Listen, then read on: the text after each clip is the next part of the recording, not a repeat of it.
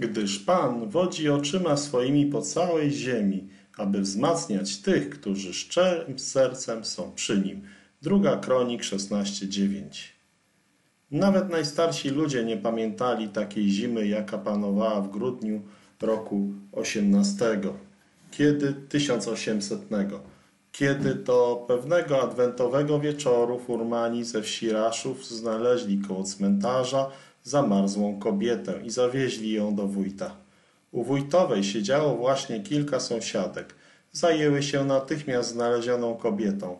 Jedna rozwiązywała przemarzłą płachtę, druga trzymała głowę, trzecia świeciła. Nagle krzyknęły wszystkie Dziecko, dziecko! Skostniałym ramieniem przytulała nieszczęśliwa matka do martwej piersi ładnego, żyjącego jeszcze chłopczyka. Zapłakały kobiety, zapłakało przebudzone dziecko i nawet furmanom zwilgotniały oczy. Biedactwo.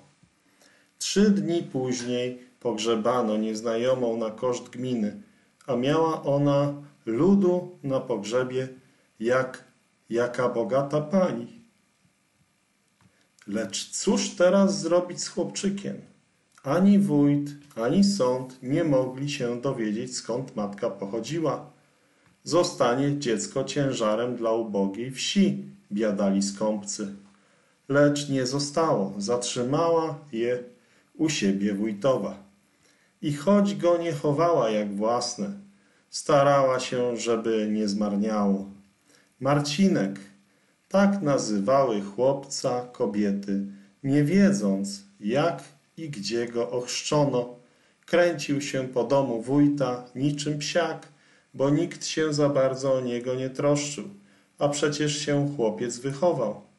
Jak tylko trochę podrósł, miała wójtowa z niego dużo pożytku. We wszystkim jej pomagał.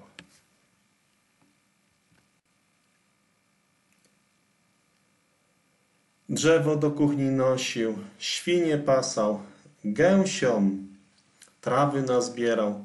Do wszystkiego był chętny i nie można było powiedzieć, żeby chłopcu najgorzej żyło się na świecie. Najeść mu się dali i ubrali. Póki jeszcze był mniejszy, sypiał w kącie przy piecu, gdzie go wójtowa po raz pierwszy położyła, gdy jeszcze jego martwa matka była z nim w izbie ale od piątego roku sypiał już w stajni. Nieraz siedziała koło chłopca gromadka królików, jakby się nad nim naradzając. Najbliższa krowa łysa za każdym razem oglądała się na niego, gdy szedł do swojego barłogu.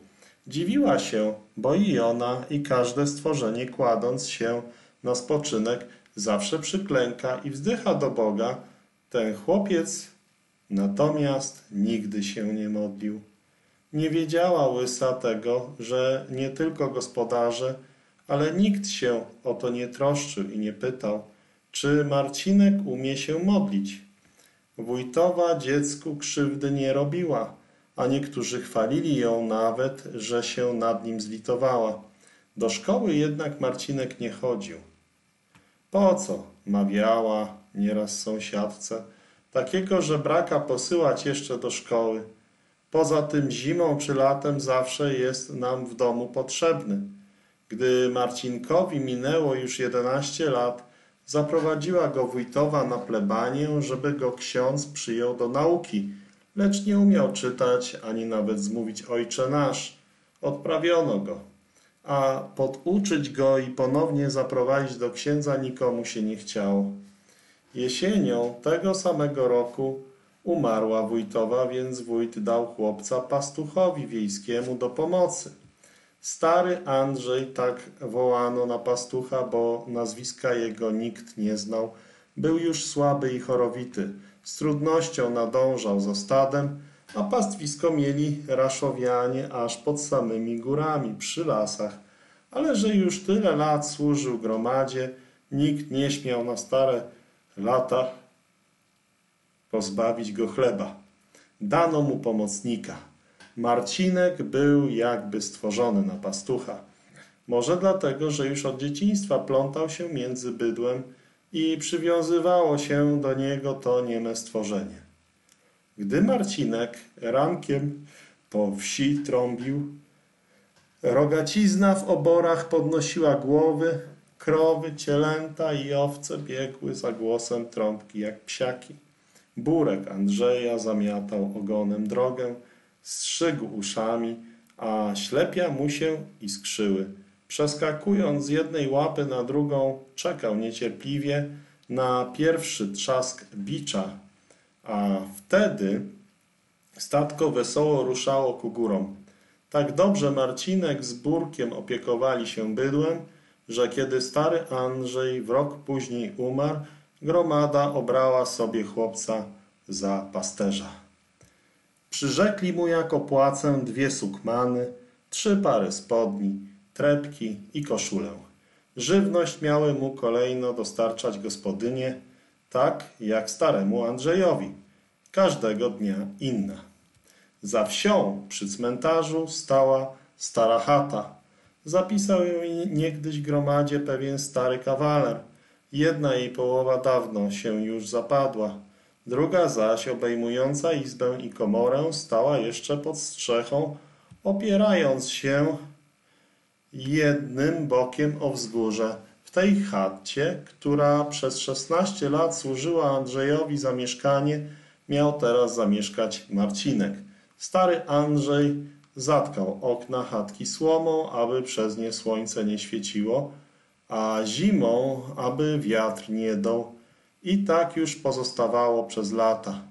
Bo cóż było Andrzejowi po słońcu? W zimie nigdy w domu nie siedział, chadzał po chatach, od sąsiada do sąsiada, zaś w lecie, gdy przyszedł wieczorem zmęczony, od razu zasypiał. Nie umiem wam powiedzieć, jakiego uczucia doznał Marcinek, gdy po raz pierwszy do tej chaty wszedł i pomyślał, że odtąd już tu musi przebywać. Ściany w chacie były poobijane, pełne pajęczyny. Podłoga wyglądała jak śmietnisko z kilkuletniej słomy i kurzu. Piękniej było u wójta w stajni. Marcinek chwycił się za głowę i tak stał przez chwilę. Potem usiadł na śmieciach i zapłakał. Po raz pierwszy w życiu uczuł, że nikogo nie ma na świecie i że jest opuszczony jak ta chata. Lecz gdy tak płakał, usłyszał pod strzechą świergot ptaka. Popatrzył w górę, a tu jaskółcze gniazdo. Ptaszki przyleciały z daleka i czyściły swój domek, żeby w nim mogły przez lato mieszkać, póki nie polecą znowu daleko, daleko. Marcinek poweselał. Przecież i ja nie muszę swego gniazda zostawić takim brzydkim, rzekł do siebie. I nie zostawił. Najpierw wyciągnął słomę z okien. Starym skrzydłem, które znalazł w kącie, omiótł okna. Każde miało po jednej tylko szybie. Inne były powybijane. Potem zaczął zmiatać pajęczynę ze ścian i powały lecz omal się przy tym nie udusił. Następnie każdego dnia, powróciwszy z pola, dalej porządkował swoje mieszkanie. Rozbroił glinę, jak to widywał u swojej gospodyni, rozrobił glinę, jak to widywał u swojej gospodyni nieboszczki, nawet żółtego piasku przyniósł, dobrze pamiętał, gdzie dawniej po niego chodził i pozalepiał wszystkie dziury w ścianach i podłodze. Przechodząc raz, grabarzowa zobaczyła, jak się chłopiec mozoli, uśmiechnęła się, pochwaliła go, że lubi czystość i odeszła. Ale gdy Marcinek wrócił następnego dnia z pola, zastał izbę i komórkę wylepioną gliną, ściany wykropione na biało i modro, a podłogę czysto wytartą i posypaną piaskiem aż miło było patrzeć. Nie wiedział biedak, czy ma się śmiać, czy płakać. Kraparzowa pochwaliła się swoim wyczynem, uczynkiem przed Gajową. Spodobało się to kobietom. wylepiły chatę i z zewnątrz oraz kazały ją obić szerokimi deskami. Chłopi Chłopi nie chcieli się dać zawstydzić, poszli, poszyli strzechę słomą. Gromada ofiarowała nowe okna, z których każde kosztowało koronę. Grabarz, który gdy nie pił, strugał różne rzeczy z drewna, naprawił stary stół, ławę i starsze jeszcze łóżko, do którego wójt darował świeżej słomy.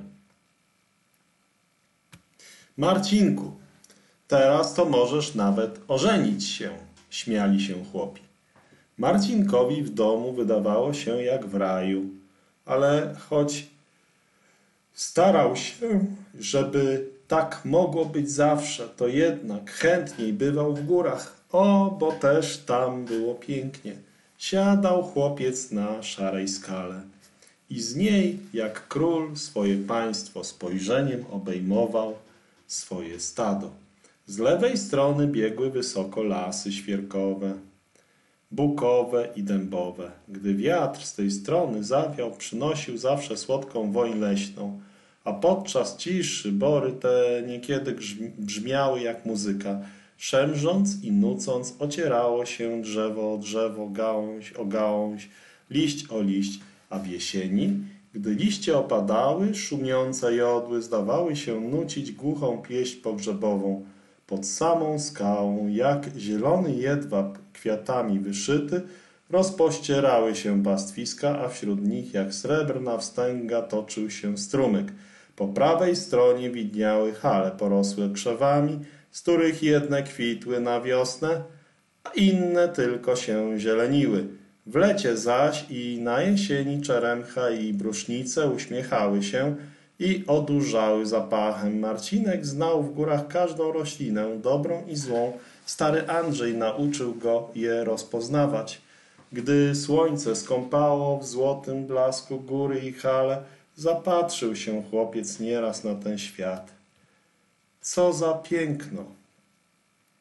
Jeżeli stado pasło się spokojnie, Marcinek wyplatał coś z wikliny, której było tam pod dostatkiem. Rozpoczął odmiotę. Poszczęściło mu się, potem zrobił i koszyk do sera. Aż wreszcie zrobił ładną klatkę dla kur. Każdego dnia przynosił coś ze sobą do wsi. Kupowały to od niego gospodynie. I tak sobie chłopiec oszczędzał. Może się to kiedyś przydać, myślał sobie, bo teraz sam muszę się starać o siebie. Nieraz, gdy siedząc wyplatał, rozmyślał sobie, czy to, co widać za, na tym świecie, zawsze było? A jeżeli nie, któż to wszystko uczynił? Kto rozkazał słońcu, aby rano wschodziło, a wieczorem zachodziło? Czy może ten Bóg, o którym wójt wspominał, kiedy się zaklinał? A niewiasty wymieniały to imię, gdy we wsi ktoś umarł, powiadając, dobry Pan Bóg, że wziął do siebie. Gdzie jest ten Bóg? I dokąd On tych ludzi bierze? Czy On i moją matkę tam zabrał? Jeżeli On to wszystko uczynił, co oczy widzą, to jest naprawdę mądry i dobry. Jakże mądrze wszystko to jest urządzone. Jedne zioła rosną na pokarm, inne znowu na lekarstwo. Te, które lubią cień, zasiał Bóg pod krzakami, inne zaś w miejscach słonecznych. Albo też i to po deszczu wszystko w górach ożywa, ale że nadmiar deszczu szkodzi, więc znowu słońce świeci i wiatr wieje. Jeżeli to rzeczywiście On tak wszystko doskonale urządził, to jest to naprawdę jakiś wielki, mądry Pan. A czy tam, gdzie On zmarłych zabiera, jest jeszcze ziemia, jest też ziemia tak piękna jak tutaj? Kiedy wójtowa umierała, dali jej do ręki pieniądz. To na przewóz, mówili. Czy między naszą a tamtą ziemią jest wielka woda? Któż ludzi przez nią na tamtą stronę przeprawia. Po pogrzebie wójtowej przez cały tydzień w domu nie pracowano, żeby dusza zmarłej miała spokój.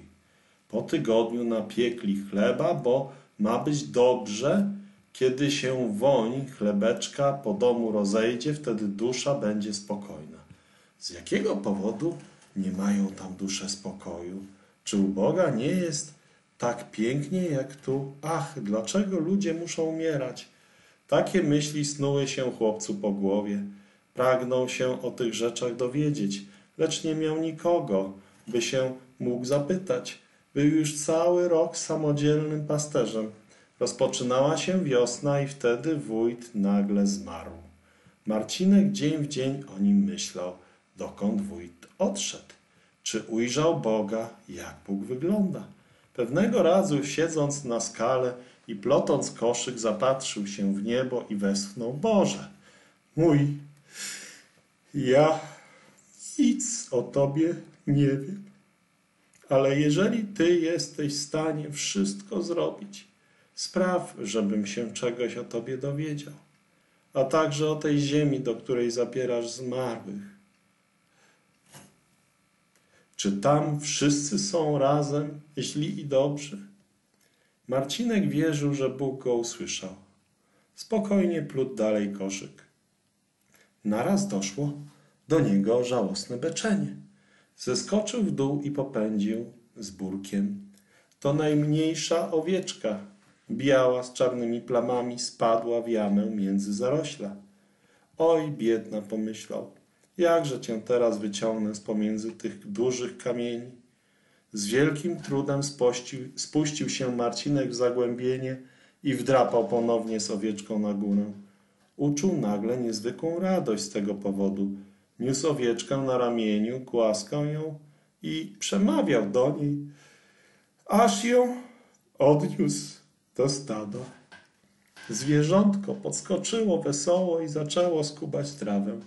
Południe, zapędziwszy bydło do wody, chłopiec spotkał kobiety zbierające grzyby i opowiedział im swój wypadek. Marcinku, rzekła mu stara chudowa, to było właśnie tak, jak pisze w Piśmie Świętym o tym pasterzu, który miał sto owiec, a straciwszy jedną z nich, zostawił dziewięćdziesiąt dziewięć na pustkowiu i poszedł szukać tej zgubionej. I znalazł ją? Znalazł. Wziął ją na ramiona i zaniósł do domu i tak się z tego radował, że aż sąsiadów zawołał, aby się z nim cieszyli. Podobało się to Marcinkowi. A któż był owym pasterzem? I gdzie to się stało?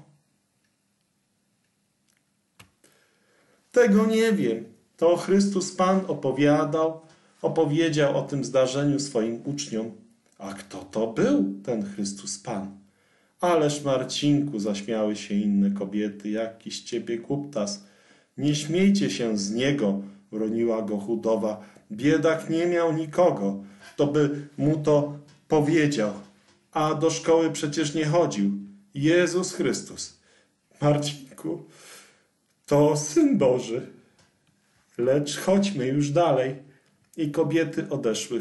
Chłopiec nie zraził się tym, że kobiety śmiały się z niego.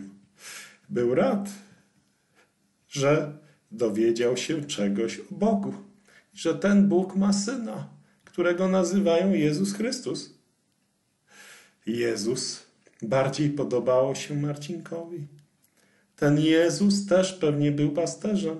Prawdopodobnie to on miał sto owiec. Jeżeli więc tam, gdzie mieszka, są pastwiska, to będą i góry.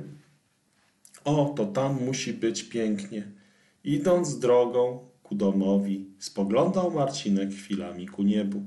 Pewnie i tam teraz wracają do wsi. I ten Boży Syn Jezus tak samo. A kiedy on tylko o owcach wspomina, to pewno same tylko owieczki pasa. Ale czy on mnie też widzi? Chętnie bym umarł, gdybym wiedział, że mnie sobie weźmie na pomocnika. Przynajmniej zobaczyłbym szybciej, jak tam jest. Na drugi dzień przebudził się Marcinek, niezwykle wesoły. umył się, uczesał i ubrał porządniej niż zwykle, a gdy mu na samym ostatku grabarzową białuchę z obory wypędzono, zagadnął nagle żonę grabarza. Cioteczko, proszę was bardzo, powiedzcie mi, czy Bóg widzi wszystko, co my czynimy? Gospodyni się zawstydziła, bo właśnie pokłóciła się z mężem, który ją uderzył. Tak, synku, widzi, a gdy będziesz źle czynił, to cię ukażę, mruknęła zagniewana. Ja nie będę źle czynił, cioteczko, obiecywał chłopiec. Idź z Bogiem. A cioteczko obrócił się Marcinek raz jeszcze. Czy widzi nas i jego syn? Jaki syn? Jezus, Chrystus Pan. Rozumie się, ale idź już. Marcinek poszedł, lecz przez całą drogę zdawało mu się, że Syn Boży tam w górze kroczy jednocześnie z nim. Od tego dnia nie odważył się więcej złorzeczyć bydłu, jak to dotąd czynił. Od tego dnia nie odważył się więcej złorzeczyć bydłu, jak to dotąd czynił, bo jeżeli go Jezus widzi, może go i słyszy. Tak przeszedł Marcinkowi cały tydzień w szczęściu i zadowoleniu. W sobotę, gdy wieczorem ze stadem wracał, dzwoniono właśnie na niedzielę. Dźwięk wielkiego dzwonu uroczyście płynął doliną. Będzie niedziela, pomyślał Marcinek. Wyzwaniają, jutro pójdą ludzie do kościoła, lecz co oni robią tam w kościele? Gdy wójtowa umarła, Marcinek siedział w przedsionku kościoła, gdzie siadali żebracy. Słyszał, że wewnątrz grali, śpiewali i że ksiądz ludziom coś opowiadał, ale tego w przedsionku nie można było zrozumieć. Raz w zimie chciał i on pójść do kościoła, w lecie bowiem nigdy nie mógł odejść od gęsi, ale wtedy mu gospodyni powiedziała, co byś ty tam robił? Czytać nie umiesz, ubrać się nie masz w co. Nie trzeba, aby tacy ludzie w kościele zawadzali. Co też ci ludzie tam robią? Czy tam z Bogiem rozmawiają, lub czy im tam o nim o, i o Jezusie opowiadają? Zapewne tak. A mnie tam pójść nie wolno? Nie chciało się tego dnia Marcinkowi wieczerzać. Na próżno też Burek tulił się do niego. Zrobiło mu się tak smutno, że najchętniej by uciekł.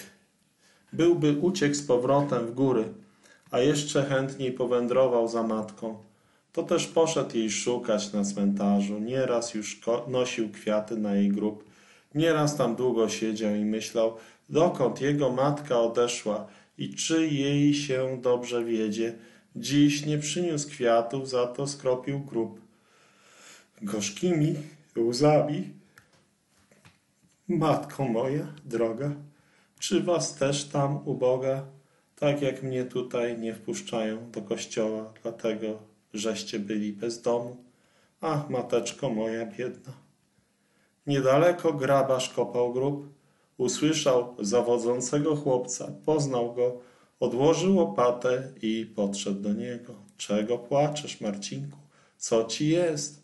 Chłopiec wyjawił swój żal, ale go grabarz nie zrozumiał, bo choć sam prawie każdej niedzieli do kościoła chodził i wiele o Bogu i Synu Bożym wiedział, nigdy jednak o nich nie myślał.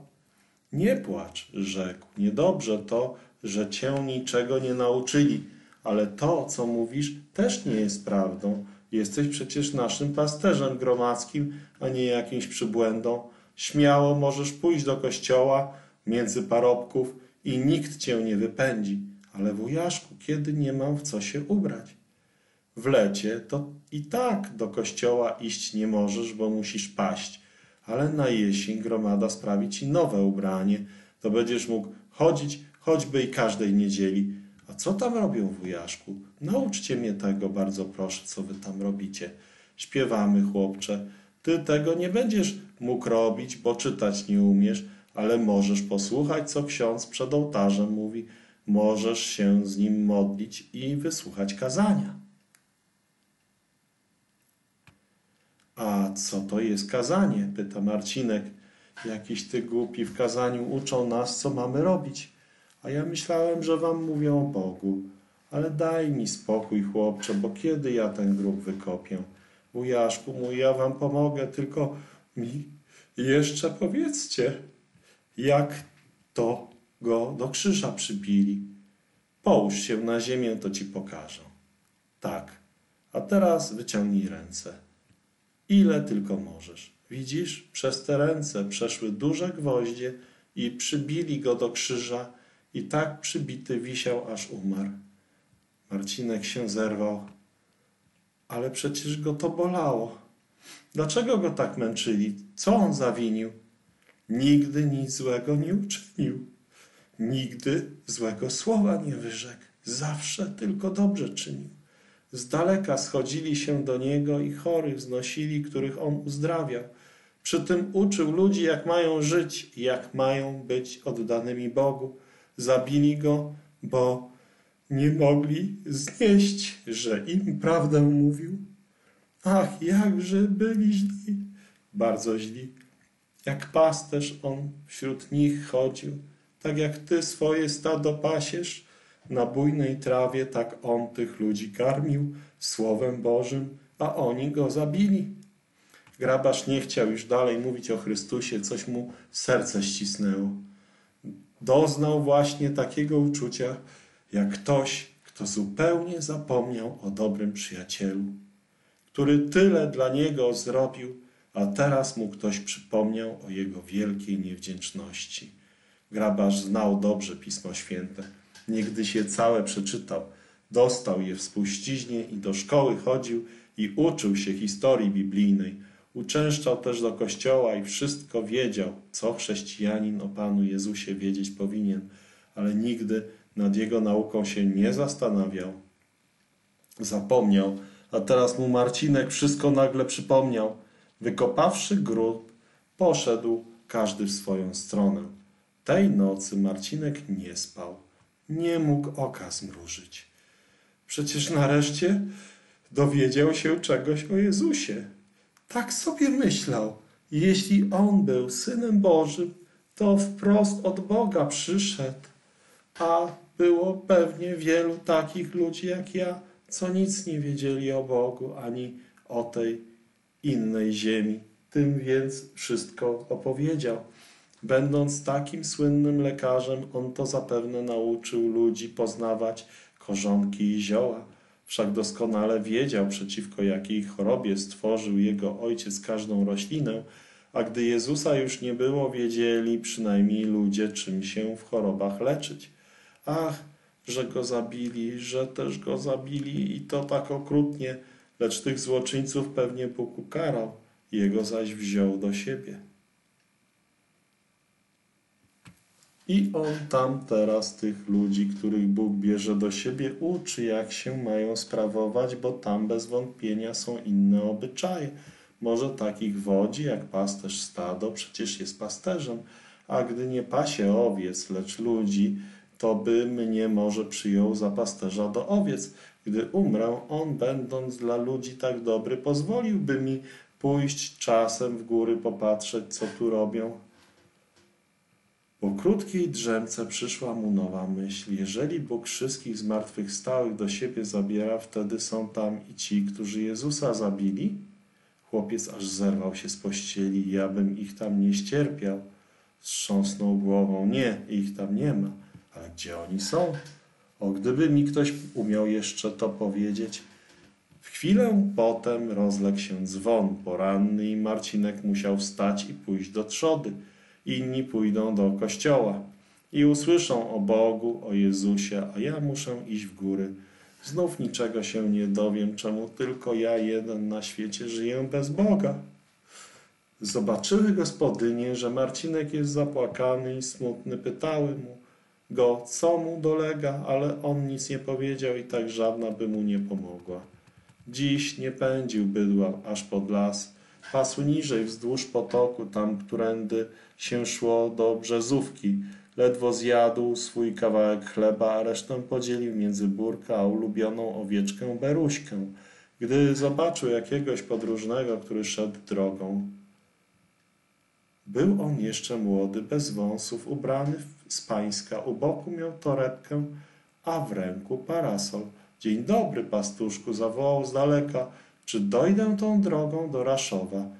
Marcinek zdjął z głowy kapelusz i odpowiedział, dojdziecie, panie, tylko trzymajcie się wierzb i potoku, bo trochę niżej rozchodzi się droga w trzech kierunkach. Uśmiechnął się obcy, spodobał mu się pastuszek z piękną, opaloną od słońca twarzą i czarnymi oczami. Czy ci tu nie smutno samemu? zapytał chłopca podróżny. O nie, tylko czasem w niedzielę, gdy inni idą do kościoła, a ja muszę paść.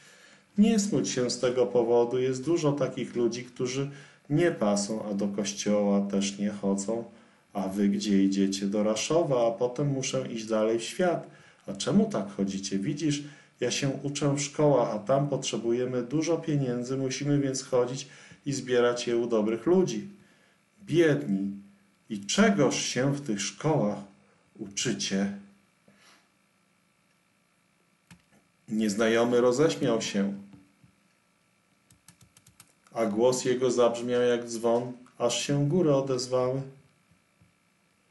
Czego się uczymy, tego ci opowiedzieć nie mogę, ale ci powiem, kim potem będziemy, gdy się wyuczymy. Czym będziecie? Jedni doktorami, drudzy adwokatami, jedni księżmi, inni nauczycielami czy rejentami. A wy kim będziecie? Ja księdzem. Ach, uradował się Marcinek, pewnie, żebyście innych uczyć mogli. Opowiadają wam o Bogu i o Chrystusie, a wy chyba już wszystko o nim wiecie. Obcy znów się roześmiał. O, wiem, już nie mało i mógłbym nawet kazanie powiedzieć. Dziś po południu prawdopodobnie będę zastępował waszego księdza. Proszę was pięknie, ja jeszcze nigdy nie słyszałem kazania. Powiedzcie mi kazanie, do śmierci będę wam za to wdzięczny. Tobie? No dobrze, lecz najpierw powiedz mi, co już wiesz o Chrystusie Panu. Chłopiec opowiedział, co słyszał od kobiet i od grabarza. Nieznajomy zdumiał się. Ależ chłopcze, to ty bez Boga i bez Chrystusa żyjesz na świecie. Jak ja mam ci powiedzieć kazanie, kiedy tak mało wiesz? Marcinek musiał pobiec do krów. Kwiatulę trzeba było odpędzić na bok, bo bodła inne. Gdy wrócił nieznajomy, siedział na skale. W ręku trzymał książkę i czytał. Marcinek usiadł u jego nóg i czekał z upragnieniem. Już wróciłeś, odezwał się obcy. Patrz, książka ma napis Nowy Testament Pana naszego Jezusa Chrystusa. Jest w niej napisane o tym, co Chrystus czynił i uczył, jak się urodził, jak umarł, jak wstąpił do nieba i jak obiecał, że znowu przyjdzie. A jest tam i o owej ziemi, do której Bóg ludzi po śmierci bierze, jest i oni. Czy są tam u Niego razem wszyscy źli i dobrzy? Ale gdzie tam, pamiętaj, dobrzy są u Niego, tam w górze, źli zaś w dole, na dole, w piekle. Kto się tam dostanie, już więcej stamtąd nie wyjdzie. Wszyscy ludzie są źli i Bóg rozgniewał się na wszystkich i skazał ich na pójście do piekła. Dlatego to przyszedł Chrystus, Syn Boży i umarł za wszystkich na krzyżu i w ten sposób uchronił ludzi od piekła. Bóg nie chciał, żeby ludzie szli do piekła, On chciał ich mieć u siebie w niebie, ponieważ tak Bóg umiłował świat, że Syna swego jednorodzonego dał, aby każdy, kto weń wierzy, nie umarł, ale miał żywot wieczny. I Ciebie Bóg tak umiłował, żebyś nie musiał po śmierci cierpieć. Jedyny Syn Boży za Ciebie został umęczony na krzyżu. Jeżeli będziesz wierzył, to gdy umrzesz, pójdziesz do Niego. Proszę was, nauczcie mnie tych słów, prosił chłopiec. Po chwili umiał całe zdanie na pamięć. Prosił jeszcze, przeczytajcie mi, jak to Jezus za mnie umarł. Nieznajomy czytał i czytał. W ciszy porannej wszystko brzmiało i dla niego jak coś nowego, więc czytał jak Pan Jezus. O grójcu smucił się i drżał nim go przyszli pojmać, jak Judasz go im wydał jak związanego wiedli.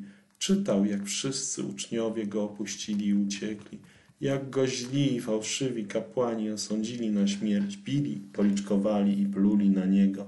Potem zawiedli go do Piłata, a od Piłata do Heroda. I Herod z niego szydził, a Piłat, choć uznał, że jest niewinny, ubiczował go i skazał na śmierć krzyżową. Żołnierze na pośmiewisko płacz szkarłatny na niego włożyli i koronę cierniową wcisnęli mu na głowę, aż mu krew spływała po twarzy. Zmienił się w cierpieniu nie do poznania, gdy go już potem na Golgotę wiedli.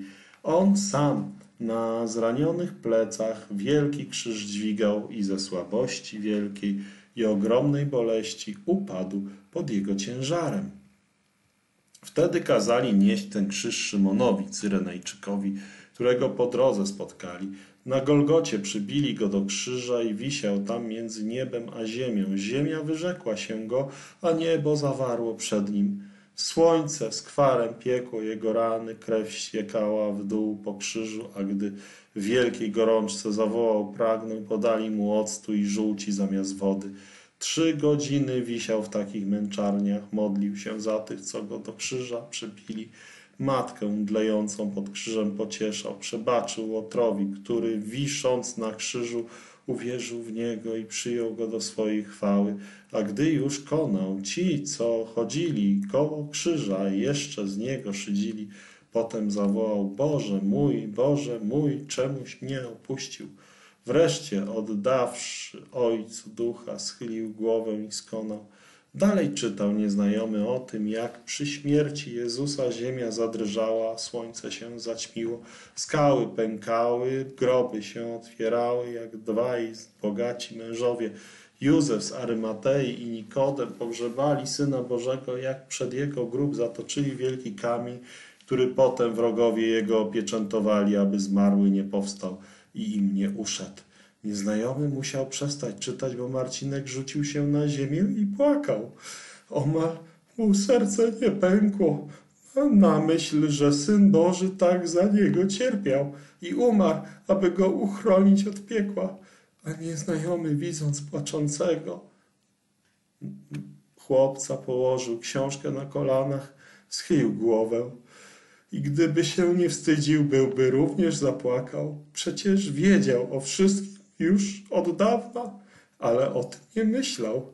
Byłby zapłakał nad swoimi grzechami, które Syna Bożego sprowadziły do grobu. Żeby Marcinka pocieszyć, zaczął czytać dalej. Kto by mógł przypuszczać, że Marcinek dziś dowie się nareszcie wszystkiego o Jezusie? Po odejściu młodego kaznodziei Marcinek zasnął. Ściło mu się, że widzi Jezusa umierającego na krzyżu, chylącego swoją głowę ku niemu i mówiącego Marcinku, za ciebie umieram.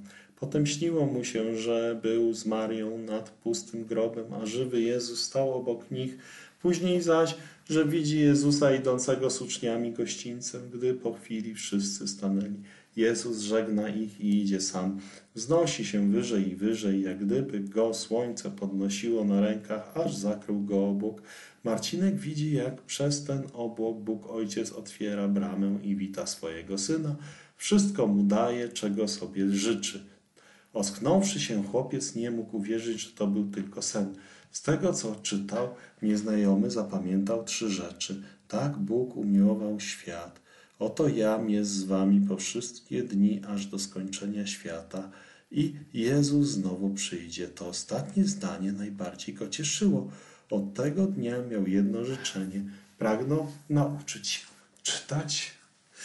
Nieznajomy powiedział mu, gdybyś umiał czytać, dałbym ci tę książkę. Była mała, ale gruba i było w niej wszystko o Synu Bożym a to, co usłyszał, zmieściło się zaledwie na kilku kartkach. Żebym to ja miał taką książkę i umiał ją czytać. Niestety był już za duży, by pójść do szkoły w zimie, a czytanie musi być rzecz bardzo trudna, a czytanie to musi być rzecz bardzo trudna. Wtem pomyślał, jeżeli mnie Pan Jezus nie śmiał go już tak po prostu nazywać, Jezus zawsze słyszy, więc poproszę go, on mi pomoże. Ukląkł, złożył ręce i patrząc tam, dokąd Jezus odszedł, prosił, Panie Jezu, ja jestem takim głupim chłopcem. Ty wiesz dobrze, że nie nauczyli mnie nawet czytać. Do szkoły by mnie już też pewnie nie przyjęli, bo jestem za duży. Proszę cię więc bardzo, przyślij mi jakiegoś dobrego człowieka, który by mnie nauczył czytać, żebym się mógł wszystkiego o tobie dowiedzieć. Ufał Marcinek, że go Syn Boży usłyszał i że go pewnie wysłucha, a o tym, jakim sposobem się to stanie, nie myślał, wierzył tylko i był szczęśliwy. Ja też będę jeszcze kiedyś czytał Nowy Testament Pana naszego Jezusa Chrystusa. Na pewno będę. Czwartek wieczorem, powróciwszy z pola, przyniósł dla jednej z gospodyń kosz dla kur. Były u niej właśnie zebrane sąsiadki i opowiadały sobie, że dziś Breza nową Annę pochowano i że jej Józio będzie musiał iść po prośbie, jeżeli go któraś gospodyni nie weźmie do gęsi. Marcinek znał tego chłopca i jego matkę. Była to kobieta uczciwa, a mieszkała we wsi na Komornym. Wyszła przed dziesięciu laty za jakiegoś murarza z Pesztu, a gdy się jej mąż przy pracy zabił, wróciła do wsi z małym Józikiem i chodziła do gospodarzy pracować.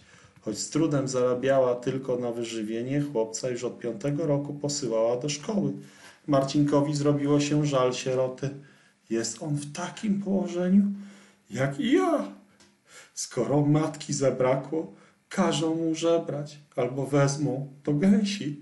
Jeżeli się czegoś w szkole nauczył, to teraz zapomni, a gdy podrośnie, nie będzie nic umiał jak ja. Marcinek codziennie wiele o Jóźsku myślał i bardzo go żałował. W sobotę wieczór ubrał się Marcinek odświętnie i poszedł do wójta. Wójtowa stała na podwórzu. Co to idziesz dać na zapowiedzi, Marcinku? Cóżeś się tak wystroił? Idę do was. Czy gospodarz w domu? Cóż masz do niego? Jerzy, chodź no tu. Marcinek przyszedł ze skargą. A czego? odezwał się wójt z kuchni. Nieboszczyk wójt był chudy, ten zaś wyglądał jak beczka. Zawołali Marcinka do kuchni. No co nam dobrego przyniosłeś? Witaj i siadaj. Dziękuję bardzo. Mogę i postać chwilkę. Przyszedłeś skarżyć się na gospodynię, że cię dobrze nie żywią? Albo może ci się chata wali? A może straciłeś krowę? Wójt żartował, a Marcinek rumienił się aż po uszy. On i skarżyć się? Marcinek miałby skarżyć się na gospodynię? Prawda, że niektóre zamiast polewki dawały mu wodę, a chleba tak cieniutką kromkę, że dokładnie przez nią mógł widzieć wieżę na kościele, ale do śmierci nie byłby się na nie skarżył. Wszak inne były za to miłosierniejsze i dawały mu tyle, że sobie mógł coś odłożyć na drugi dzień. Skarżyć się nie przyszedłem, powiedział skromnie. Mam dzięki Bogu co jeść. Cóż więc, przyszedłem się dowiedzieć, co gromada uczyni z, B, z Brezanowym Juskiem. Patrzcie, o kogo on się troszczy, zawołał wójt zdziwiony.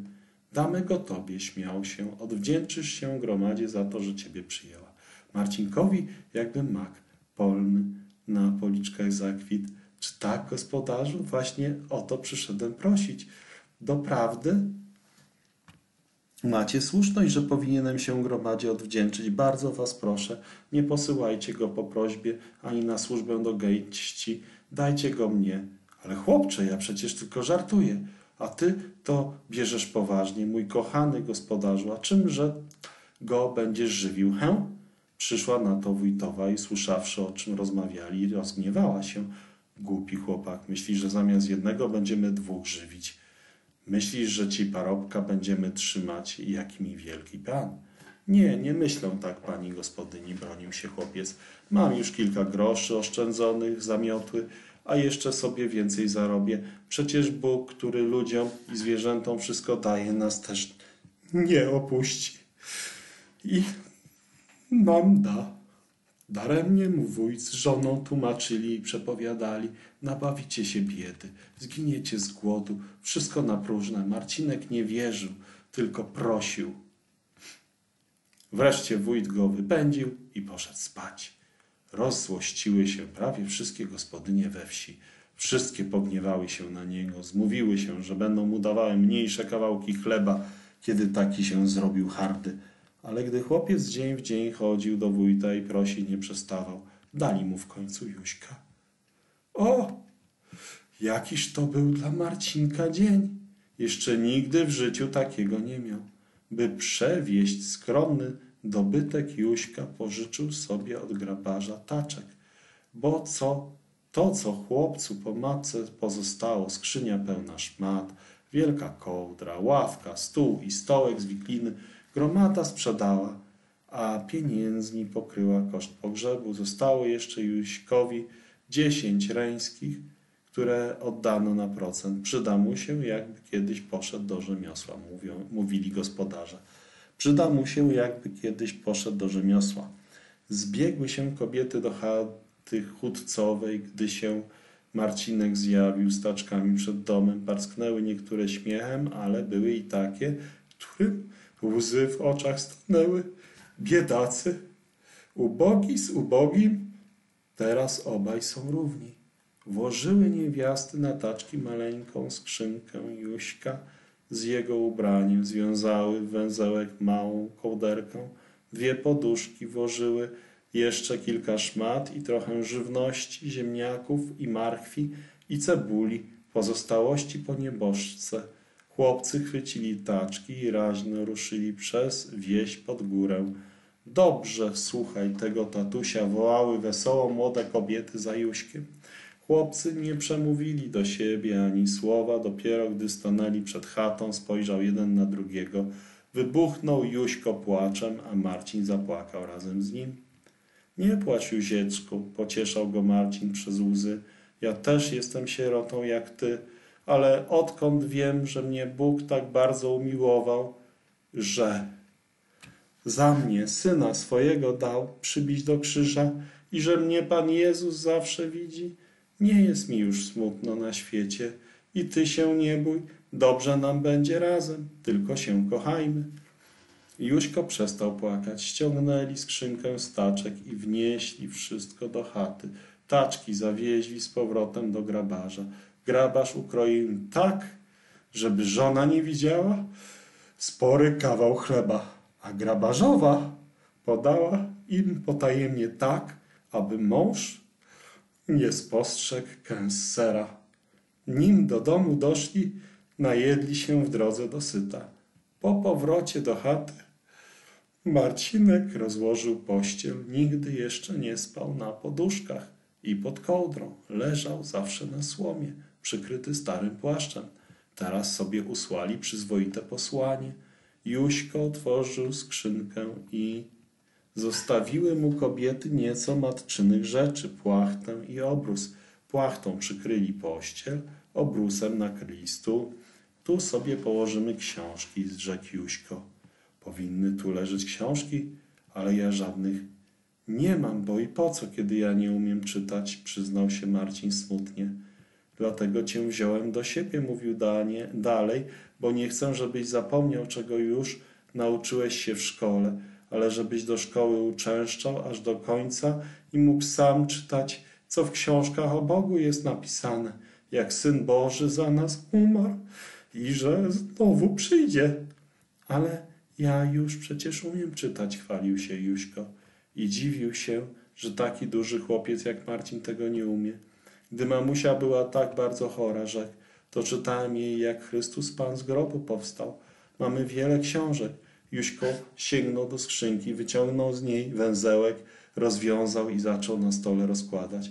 Najpierw swój elementarz, potem książkę do czytania, katechizm, historię biblijną i jeszcze całkiem nową, Ostatni upominek od mamy, potem wielki śpiewnik Trzanowskiego, studzienkę i starą postyllę po dziadku, a na końcu osobno w ręcznik zawiniętą dużą księgę. To jest Pismo Święte, Biblia, objaśnił zdziwionemu Marcinowi, a jest w niej o Bogu napisane wyłącznie o Bogu. Zaraz na początku, jak stworzył świat w sześciu dniach, lecz o tym jest i w historii biblijnej, a tam są i obrazki. Zaczęli chłopcy przeglądać obrazki, a Juśko opowiadał o każdym, jak Bóg stworzył świat i człowieka, jak wąż zazdrościł pierwszym ludziom, że w raju żyli, jak namówił Ewę, aby była nieposłuszna i zjadła zakazany owoc.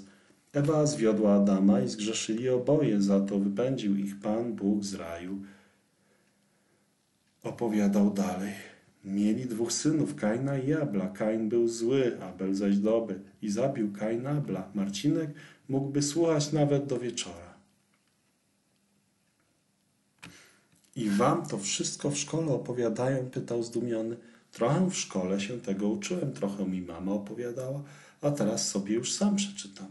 Zaczął Juśko czytać i choć miał dopiero osiem lat, czytał gładko. Marcinowi, Marcinkowi oczy zaszły łzami. Teraz dopiero przekonał się, jaką krzywdę wyrządziła mu gospodyni, że go do szkoły nie posyłała. I on by umiał czytać z tej wielkiej księgi, ale choć teraz dobrze się stał, że miał już Słowo Boże i miał też kogoś, kto mu mógł czytać. Dotąd Marcin nosił zwykle czapkę na głowie, ale skoro Juśko przeczytał słowa Pismo Święte, natychmiast zerwał ją z głowy i odtąd siedział w chacie bez czapki. Gospodyni nauczyła go zdejmować czapkę przed ludźmi sędziwymi i przed panami, a przecież nad wszystkich ludzi w świecie większą cześć należało okazywać tej księdze, która od Boga przyszła i o Bogu opowiada. Przez pierwsze cztery dni wspólnego z Juśkiem pobytu nie jadł Marcin suto ani chleba, ani strawy ważonej. Zmówiły się gospodynie i nie dawały pastuszkowi tyle pokarmu, co przedtem. Chłopcy piekli sobie kilka kartofli z odrobiną soli. Marcinek dzielił chleb i jadło na dwie części, mniejszą dla siebie, a większą dla Juśka. I tak karmili siebie i Burka. Podczas gdy Marcin doglądał bydło, Juśko zbierał maliny.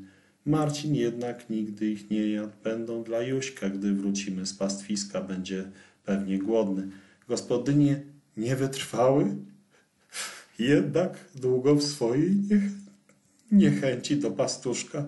Widząc, jak wesoło chłopcy wracali z pastwiska, każdy z wiązką prętów na plecach, jak uprzejmie jeden na drugiego spoglądali oraz jak rozmawiali ze sobą. Przejednały się niewiasty i z wyjątkiem kilku skąpszych zaczęły dawać chłopcom więcej chleba, kaszy i polewki. Nam przez to wiele nie ubędzie, powiadały. A niech chłopcy nie cierpią głodu biedacy. Tak wszyscy nazywali chłopców, a nikt nie wiedział, że nie było we wsi szczęśliwszych ludzi. Wesoło budził Marcin rano swego towarzysza. Myli się w potoku, czesali włosy i ubierali się. Juśko odmawiał Ojcze Nasz. Marcin powtarzał za nim po cichu. Zabierali ze sobą elementarz, historię biblijną, swoje no noże i sznury do wiązania rusk. Brał Marcin także pasterską torbę. Juśko puszczał burka i dalej żenadu do wsi, a potem ze stadem w góry. Jak tylko Marcin bydło patrzył, zjadali chłopcy wraz z burkiem, co im gospodynie na śniadanie dały. Po posiłku Juśko czytał z historii biblijnej jeden ustęp, a potem pokazywał Marcinkowi którąś z liter w elementarzu. Sam zaś uważał na bydło i ścinał pręty na kosze i miotły. Ledwo wiązkę przygotował, a już Marcin umiał swoje i łączył litery, których się nauczył, w całe słowa.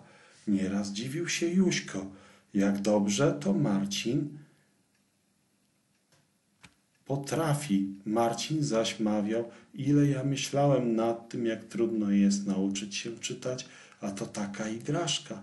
Ale niech Bóg błogosławi tych ludzi, którzy ten elementarz tak ułożyli.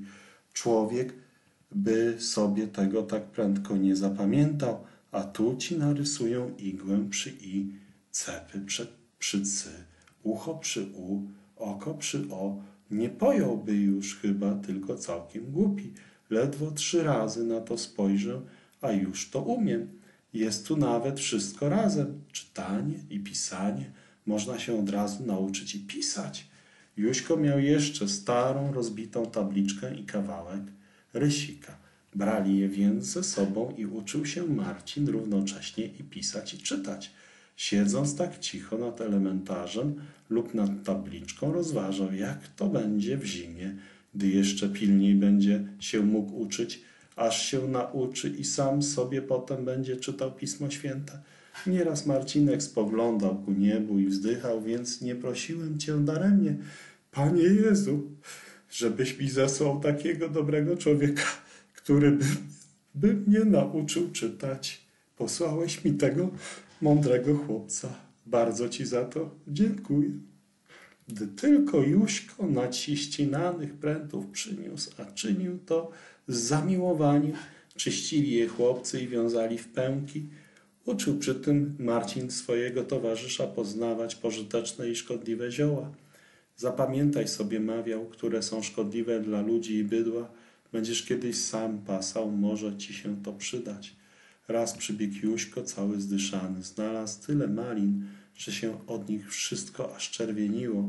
I tak długo Marcina prosił, aż mu ten pozwolił wziąć na drugi dzień z domu koszyk, aby nazbierać malin i zanieść do leśniczówki. Pytali się w leśniczówce Juśka, u kogo teraz przebywa, bo znali dobrze jego matkę, zapłacili dobrze za maliny i jeszcze chłopcom do koszyka różnych rzeczy nakładli. Oprócz tego umówili się z Juśkiem, żeby im w każdą środę i sobotę przynosił mięso, obiecując mu za każdą drogę trzy centy. Chłopcy wrócili do domu uszczęśliwieni. Odtąd nosił Juśko do leśniczówki wszystko, co było potrzeba, a Marcin posyłał go za każdym razem na pocztę zapytać, czy nie ma tam czegoś dla pana leśniczego. Słyszał bowiem od pewnego, pewnego razu, jak się skarżyły gospodynie, że za długo na listy od mężów lub synów czekały, a listy nieraz cały tydzień leżały, jeden na poczcie, drugi u listonosza. Pan leśniczy pochwalił chłopców za dobry pomysł. Usłyszały o tym gospodynie sąsiadujące z leśniczówką, wynajęły i one Juśka na listonosza. Teraz już nie potrzebował Marcin karmić Juśka swoim chlebem. Juśko jeszcze nawet nie jedno do domu przyniósł na zimę. Jedna gospodyni dała jajko, druga kilka ziemniaków, inna trochę marchwi, a jeszcze tego roku w górach jabłonie i grubsze bardzo obficie obrodziły. I grusze bardzo obrodziły. Pozwolono chłopcom zbierać, ile do domu unieśli, a później dano im i suszonego owocu. Chłopcy umieli to wszystko ocenić i na zimę sobie odkładać, bo Marcin wiedział, że w zimie, gdy niczego na polu nie znajdzie, głód bywa najgorszy. Nie podobało się Juśkowi, że Marcin nigdy w niedzielę nie chciał go wziąć w góry, ale Marcin w niedzielę słyszeć o tym nie chciał i mówił – Umiesz czytać, wszystko rozumiesz, a do kościoła byś nie poszedł. Idź i uważaj dobrze, abyś mi mógł opowiedzieć, o czym było kazanie. Z kazania wprawdzie Juśko niewiele zapamiętywał, ale powtarzał Marcinowi przynajmniej pieśni, gdy śpiewano jedną z tych, które Juśko umiał na pamięć. Musiał mu ją wtedy powtarzać dopóty, dopóki Marcin nie umiał jej zaśpiewać. Wszystkie mu się podobały – ale najbardziej jedna, którą śpiewał zawsze, gdy był sam. Gdzieś Ty, mój Jezu, Zbawco kochany, któż mi pokaże drogę do Ciebie, opromij chaty nasze i łany i wskaż nam drogę do Ojca w niebie. Szukać Cię będę stale i wiernie, pójdę za Tobą, skroś głuk i ciernie. Wszystkie u nóg Twych złożę, swe winy Twoim się stanę, Jezu jedyny. Ten, co tę pieśń ułożył, myślał Marcin pewnie tak samo jak ja, nic o Tobie, Panie Jezu, nie wiedział. Wieczorami, gdy chłopcy wracali z pola, zapalali sobie w domu lampkę, którą mieli po matce Juśka. Każdą sobotę musiał Juśko kupować do niej w sklepie olej. Czytali zawsze o męce i śmierci Pana Jezusa. Juśko chciał nieraz czytać co innego, lecz Marcin nie pozwalał. W zimie przeczytamy cały Nowy Testament i może i Starego nieco. Teraz musimy to tylko czytać tak długo, aż wszystko będziemy umieli na pamięć, żebyśmy nigdy nie zapomnieli i mieli zawsze w sercu, jak On dla nas cierpiał. Juśko długo jeszcze musiał czytywać historię męki Jezusa, zanim mu się w sercu wyryła, bo dużo jest takich dzieci i dorosłych, którzy nigdy o tym nie rozmyślają, co Syn Boży dla nich wycierpiał i uczynił. Tak i Juśko czytał teraz chętnie, nie dla siebie, ale tylko dlatego, iż wiedział, że to się Marcinowi podoba i że on go za to chwali i podziwia jego umiejętność. A Marcin, gdziekolwiek się znajdował, a szczególnie gdy był sam, wciąż rozmyślał o Panu Jezusie. Pewnego razu w niedzielę nieco później niż zwykle wracał z gór ze stadem. Gdy o zmierzchu wyszedł z bydłem z lasu na wolną przestrzeń, w świetle księżyca ujrzał coś leżącego na ziemi koło drogi, jakby człowieka z założonymi na głowę rękoma i usłyszał jego bolesne wzdychania. W pierwszej chwili przeraził się, lecz potem, kiedy podszedł bliżej, przekonał się, że to był obalony pień, na który padało światło księżyca, zaś w oddali cicho jęczały góry. Marcin stanął nad tym pniem i pomyślał – tak leżał w owym ogrodzie Syn Boży i modlił się wzdychając, aż krwawy pot wystąpił mu na czole. Taka ogarnęła Marcinka żałość, że idąc przez całą drogę płakał i życzył sobie, żeby mógł jak najprędzej pójść do Boga i oglądać Pana Jezusa. Upadłby przed Nim na kolana i dziękowałby Mu za wszystko. Zauważyły gospodynie, że Marcin jest jakiś cichy i poważny. Stroiły sobie z niego żarty. Musi być poważniejszym, będąc ojcem tak dużego chłopca. Marcin nic nie odpowiadał na te przemówki, przecież Syn Boży nie otworzył nawet ust swoich, gdy z niego szydzono, a gdy go bito, nie bronił się.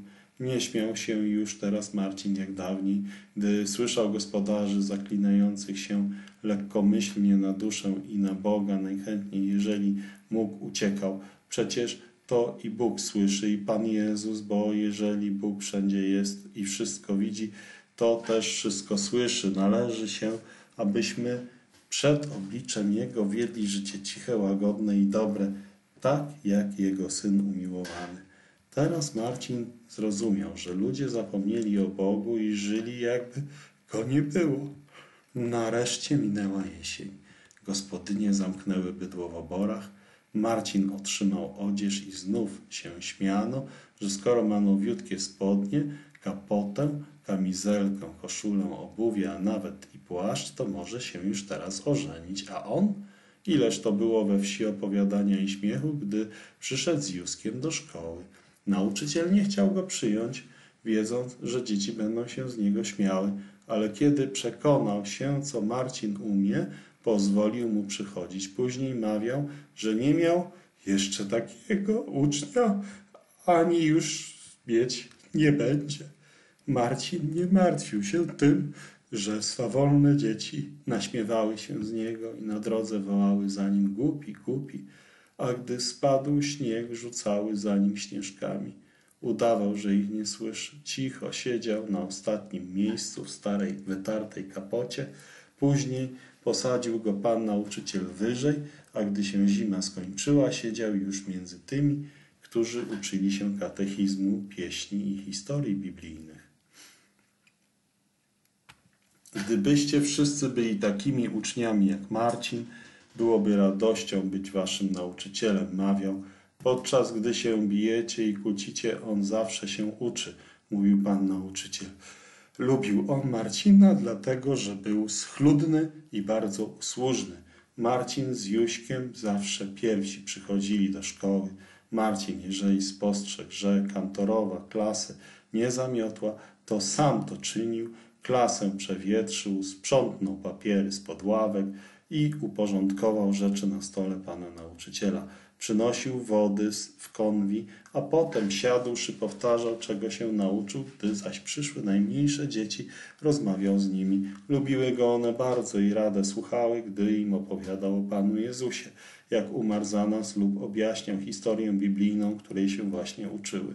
Póki się nauka nie rozpoczęła, zajmował się je w ten sposób, by nie skakały po ławkach, bo dobrze pamiętał, co pewnego razu powiedział Pan nauczyciel – Dzieci, ten kurz, którego narobicie, nim ja przyjdę, zabije mnie kiedyś. Niekiedy dzieci nie chciały słuchać historii biblijnych. Wtedy, żeby tylko cicho siedziały, opowiadał im Marcin o ptaszkach, jak robią gniazdka w górach, jak wiewiórki skaczą, jak widział wielkiego węża, jak burek w porębie spłoszył zająca. Często, gdy pan nauczyciel do klasy wchodził, stały dzieci wokoło Marcina, słuchając najgłębszym milczeniu, niby zaklęte. Czasem śmiały się do rozpuku. Nie miał jeszcze nauczyciel w Raszowie takiego ucznia, który by się za trud nauczania tak odwdzięczał, ani go mieć nie będzie. A nie było dla Marcina rzeczą łatwą chodzić do szkoły i żywić przy tym dwoje ludzi. Gospodynie, ponieważ Marcin teraz nie pozostawał stale na ich usługach, dawały chłopcu tylko obiad, dopóki wystarczały zapasy, które Juśko w jesieni nagromadził i to, co Marcin za kosze i zamiotły dostał, dopóty chłopcy odpędzali troski, lecz cóż będzie potem?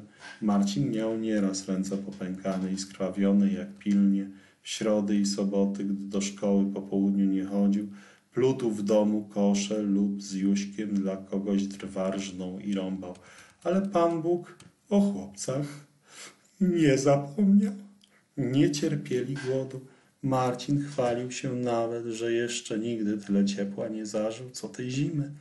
W szkole zawsze się w piecu paliło, a do domu nanosili sobie chłopcy we dwóch za pozwoleniem leśniczego spory zapas suchych gałęzi. Starczyły im one do wiosny. Nie spostrzegli się nawet chłopcy, kiedy minęła zima. Tego roku nie miał Marcin z wczesnej wiosny szczególnej radości.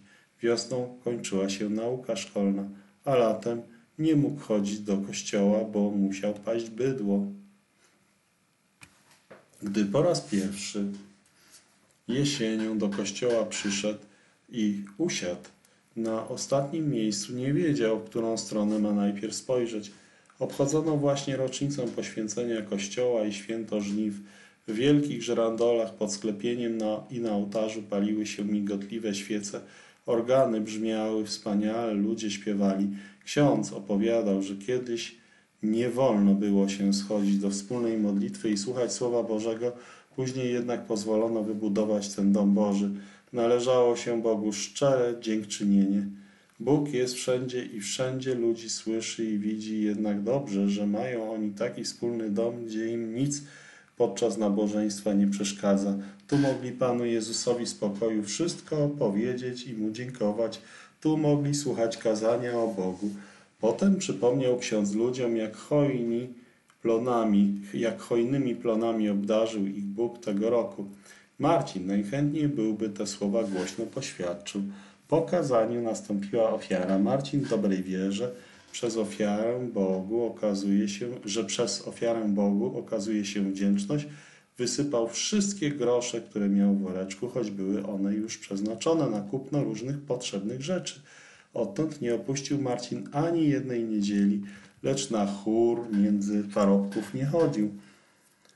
Spostrzegł bowiem, że wielką, z wielką zgrozą, jak się tam szczypali, szturchali, szeptali, wolał z Juśkiem zająć miejsce na żebraczej ławce pod schodami, blisko drzwi, bo tam im nikt nie przeszkadzał. W spokoju mogli słuchać kazania, modlić się i śpiewać znane im pieśni. Śpiewali najpierw z pamięci, a potem z Juśkowej książki. Nieraz oglądały się kobiety na Marcina. Miał on taki czysty głos, jak dzwonek srebrny lub jak muzyka w górach. Taki słodki i wzniosły, a śpiewał Bogu z całej duszy. Przyjemnie było patrzeć na chłopców, gdy czysto i schludnie ubrani zdążali do kościoła i cicho i skromnie, jak w takim świętym miejscu przystoi, na swojej ławce siadali. Będzie ich ludziom brakowało, gdy chodzić do kościoła przestaną. W końcu nadeszła wiosna, ustało szczęście Marcina. Ale na wiosnę przyszedł do wsi obcy człowiek. Podróżny ten sprzedawał Pismo Święte i różne inne książki. Idąc przez wieś, wstąpił też do chatki pasterskiej. Wiedział, że chłopcy sami mieszkają i zabawił u nich dłuższą chwilę. Poczęstowali go oni chlebem, który im wieczorem grabarzowa dała. Cole Porter, bo tak nazywano obcego, pokazał chłopcom książki i rozmaite piękne obrazki, a zauważywszy, że Marcin pragnąłby mieć taki mały Nowy Testament, który mógłby brać ze sobą w pole, ale nie ma czym zapłacić, darował mu go i obydwu chłopcom dał jeszcze po jednym obrazku. Na jednym z nich namalowane było niebo i biały gołąbek niosący w dziobie listek z napisem Ja miłuję tych, którzy mnie miłują, a którzy mnie rano szukają, znajdą mnie, mówi Pan. Drugi obrazek przedstawiał wianek z kwiatów, w środku którego widniały słowa Synu mój, daj mi swoje serce. Marcin nie mógł się tym słowom nadziwić. Czy to jest tak, rzekł do kolportera, że mnie Pan Jezus miłuje, a szukając pilnie znajdę go? To on przecież żąda, byśmy mu dali serce. Długo rozmawiał kolporter z chłopcami, a mimo to nie zdążył odpowiedzieć na wszystkie pytania. Marcin znowu dużo dowiedział się o Panu Jezusie i owej cennej, o owej innej ziemi i życiu wiecznym. Trzy dni bawił kolporter we wsi, a każdego wieczoru wracał do chłopców. Gdy odchodził, a było to w sobotę, odniósł mu Marcin kufer z książkami do najbliższego miasta. Choć go ten ciężar prawie do ziemi przygniatał, chłopiec za nic w świecie nie dałby odebrać go sobie. Cieszył się, że mógł choć raz Pismo Święte nieść i nie ciążyło mu wcale. Idźcie z Panem Bogiem, drogi przyjacielu, życzył kolporterowi. Niech wam Pan Jezus będzie pomocą, żebyście wszystko sprzedali, żeby sobie dużo ludzi te święte książki kupiło i żeby je czytali, a nie żyli dłużej na świecie bez Boga. Daj to, Panie Boże, mój synu, mówił kolporter. Naśladuj tylko wiernie Pana Jezusa, aż przyjdzie, żebyśmy sobie w Jego obecności mogli znowu ręce podać. A Marcinku, gdyby Ci kiedyś było źle na świecie, wtedy tym się pocieszaj, że Pan Jezus powiedział w domu Ojca mego, wiele jest mieszkań, idę, aby Wam zgotować miejsce, znowu przyjdę i wezmę Was do siebie. Przyrzekł Marcin, że sobie zapamięta, gdy mu potem kolporter za drogę chciał zapłacić, on omal się nie rozpłakał. Tyle dobrego nauczyliście mnie, książkę świętą i te obrazki darowaliście nam, a ja bym się wam niczym nie miał odwdzięczyć. Kolporter pogłaskał chłopca, przytulił go do siebie, spojrzał mu w jego piękne czarne oczy i ucałował w czoło, jak dobry ojciec, miłe dziecko. I tak się rozstali. Długo jeszcze Marcin siedział na kupie kamieni, patrząc za obcym. Wierzył, że jak ten dobry człowiek tak przytuli go kiedyś do siebie Ojciec Niebieski, już teraz wiedział, jak mu tam będzie. Przyleciała wiosna, przyleciała młoda, zakwitło na świecie tysiąc róż. Już w słonecznym blasku kąpie się przyroda, a ptaszki śpiewają, wstańcie już. Ejże już ta zima sroga przeminęła, nie jednej ptaszynie mateczka zginęła. Cieszyli się gospodarze, że będzie można dobytek wypędzić, bo już się w stodołach, szopach i stogach rozwidniło. Pocieszał się Marcin myślą, że znowu zobaczy swoje ukochane góry. Miał tylko wielki kłopot z Juśkiem. Ze szkoły przed egzaminem wziąć go nie chciał. Ale kto mu da na utrzymanie, jeśli Juśko nie będzie paść? poniedziałek mieli już po raz pierwszy wypędzić bydło. W niedzielę po południu Marcin stojąc przed chatą myślał, gdzie to Pan Bóg podziewa te lody i śniegi. Niedawno jeszcze było tu przed chatą biało, a teraz już murawa się zieleni, a tam w dolinie na łąkach przed paru tygodniami jeszcze urządzali sobie chłopcy ślizgawkę, teraz zaś grają w piłkę, a dziewczęta w kotka i myszkę, tak, że ich wesołe głosy aż tu słychać. W takich myślach pogrążony nie spostrzegł Marcin zbliżającej się wójtowej, aż się do niego odezwała. Idę do grabarzowej, rzekła w ciągu rozmowy. Muszę ci, Marcinie, przyznać, że zaopatrzyłeś Juśka na zimę doskonale. Ma ciebie ta jego matka na tamtym świecie za co błogosławić, ale kiedy ona nie żyje, a ty tak za szkołą przepadasz, tośmy się umówiły, że ci go przeżywimy aż do egzaminu, żeby nie musiał nauki przed końcem roku przerywać. Więc jeden tydzień będzie jadł u nas, drugi we młynie, trzeci u Chudcowej. Marcin nie wiedział, jak ma wójtowej podziękować. Niech wam to, cioteczko, Pan Bóg tysiąckrotnie wynagrodzi. Tak więc było już po kłopocie. W poniedziałek nie było w całej wsi człowieka szczęśliwszego od Marcina. Jóźko pomógł mu zapędzić stado aż pod sam las, potem popędził do szkoły. Po południu przybiegł góry jak strzała. Marcin odłożył dla niego kawałek chleba i trochę kaszy z obiadu. Nie trzeba było Jóźka dwa razy prosić. Gospodynie też dotrzymywały słowa, żywiły Jóźka aż do egzaminu. Nie zubożały przez to, bo co człowiek dobrego uczyni, to mu Pan Bóg wynagrodzi. Czy nie smutno ci, Marcinku, w górach bez Jóźka? Pytały gospodynie chłopca co dzień, ale Marcin nie miał czasu myśleć o samotności. Nim stado patrzył i każdą krowę na inne miejsce zapędził, żeby się ze sobą nie bodły, mijało sporo czasu. Potem wyciągał z kieszeni swój testament i czytał. Niekiedy przeczytał tylko dwa wiersze, bo nie szło mu jeszcze tak gładko jak Juśkowi, ale nad tym, co przeczytał, rozmyślał przy pracy i a każdy dzień przynosił coś nowego. Pewnego razu dowiedział się, że gdy Pan Jezus narodził się, to nigdzie oprócz stajni nie było dla niego miejsca. Dlatego bardzo żałował, że Syn Boży, będąc dzieckiem, musiał tak jak on leżeć na słomie w stajni w żłobie. Bardzo się, się też Marcinkowi spodobała historia o dwunastoletnim Jezusie w świątyni w Nazarecie, gdzie mieszkał. Nie było świątyni. Wtedy po raz pierwszy odbył daleką drogę do Jerozolimy, gdzie świątynia musiała być bardzo piękna. W Jerozolimie było wtedy mnóstwo ludzi. Jezus zgubił się swojej matce. Nieszczęśliwa trzy dni go szukała, pytając się wszędzie, czy go nie widziano. Już Marcin drżał, że go może wcale nie znajdzie. Jakże się ucieszył, gdy go wreszcie znalazła w świątyni. Czemu go tam od razu nie szuka? Mogła przecież domyśleć się, że nigdzie indziej nie pójdzie. Często, bardzo często myślał Marcin o tej podróży Pana Jezusa. Idąc tak daleko, pewnie po drodze kwiaty zrywał, a gdy szli górami, odpoczywali nieraz w chłodnym cieniu. Tak żywo go sobie Marcin wyobrażał, jakby właśnie tędy miał iść tym gościńcem przez Brzezówkę do Raszowa, a z Raszowa dalej w daleką, daleką drogę. Tak więc miał Marcin zawsze o czym myśleć, a gdy mu przyszła ochota, to sobie śpiewał, aż góry wtórowały. Raz śpiewał sobie, gdzieś Ty mój Jezus, Zbawco kochany, któż mi pokaże drogę do Ciebie. Śpiew ten płynął tak daleko światem, jakby go umyślnie góra górze powtarzała, ażeby doszedł do Pana Jezusa, za którym Marcin tak tęsknił.